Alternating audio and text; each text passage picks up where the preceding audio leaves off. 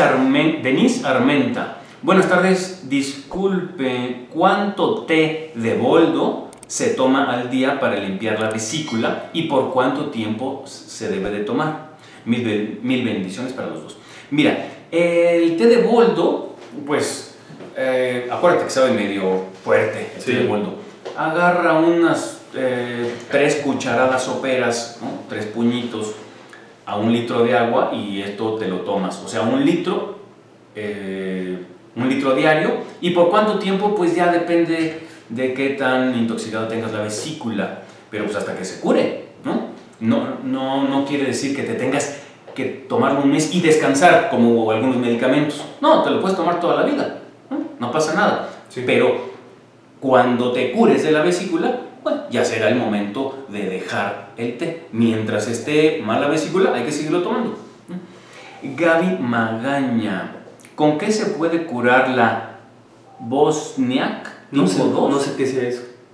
y abundante orina residual, por lo que hace que le provoque ganas de ir al baño a orinar en las noches? No tengo ni idea que sea el Bosniak 2, lo siento. Que nos. que, no- que, que me voy a tener que poner a investigar eso. Voy a tener que buscarlo. Pero Y bueno, no puedo dar una respuesta porque no sé lo que sea. Mejor les digo, ¿para qué, para qué les. Pues, ¿por Sí, sí, los engaño, no? Ah, son quistes en el riñón. Bosnia, que es la clasificación que se utiliza. Aquí está. Ah, mira.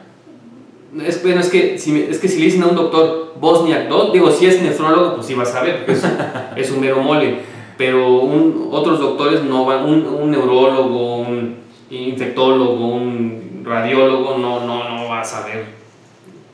Un- no, son quistes, son simplemente quistes los riñones. Esa Bien, entonces, entonces eh, sí le podemos ayudar. Sí, Mira, el té, el té de pelos de lote, la pingüica y, y la mm, este, jamaica, sí, te los, te los tienes que tomar unos dos puños de cada, dos cucharadas de cada té en un litro de agua. Lo cuelas, te lo tomas todos los días. Eso te va a empezar a limpiar los riñones. Ah, bueno, y también para tu segunda pregunta, que las ganas de orinar, que orinas mucho por las noches, pues obviamente No. hay que limpiar los riñones. es consecuencia de los kits en el riñón. Pasamos con una pregunta o dos más y luego con el otro, con el otro YouTube. Perfecto. Eh, Francisco, ¿qué es una Colecistectomía. Híjole, está bien. Es la extirpación de la vesícula biliar. ¿Una persona con osteoporosis puede tomar el cafelágeno? Una persona con osteoporosis Debe. debería de tomar la- el cafelágeno, Sí. porque el colágeno es una proteína estructural importantísima de los huesos y además tiene calcio y zinc, nuestro producto. Sí. Entonces le fortalece los huesos. sí.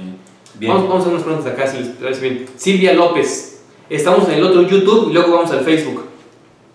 Hola, hola. Leti Mar así dijo hola, hola. Leti Martínez, hola, bueno. Hola. Silvia López, me gustaría que diera cursos en línea.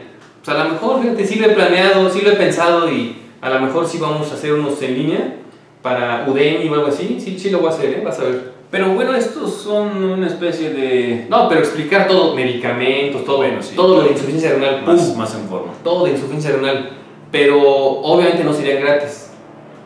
No, pues es que uno se lleva su tiempo en, en el esfuerzo, Pues ¿no? mejor por aquí entonces preguntamos que es gratis, ¿no? Aquí sí es gratis, pero nada más aquí, en la, es una especie de, esto es para los pacientes, esto es gratis.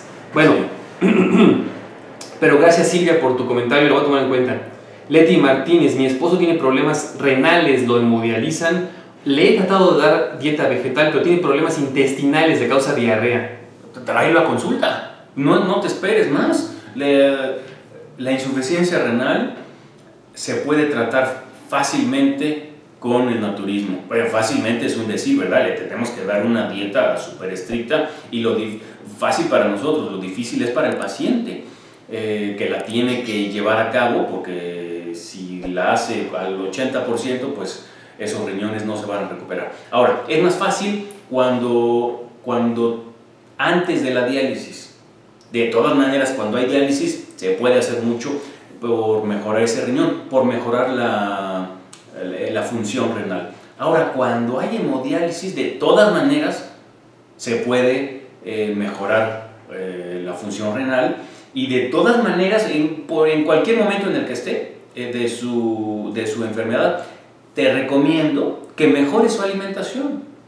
¿no? Pregunta Evangelista Minerva. Sí, queremos cursos en línea. Ajá. ¿Qué hubo, eh? Ya, el- la voz del pueblo. Pero, pero bueno, si, si ya tiene insuficiencia renal, lo están hemodializando y aparte tiene problemas eh, gastrointestinales, bueno, este, dale, dale, mi dale el teléfono del consultorio Sí, y que, sí, que sí. llame, ¿no? Necesita una, una consulta, necesita toda, toda la dieta y, y, y asesoría 24 horas.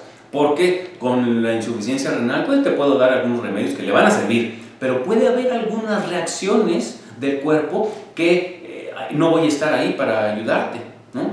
Pero si ya vienes a, a consulta o si estás lejos, la consulta por vía telefónica pues funciona muy bien y están nuestros teléfonos para ayudarte 24 horas.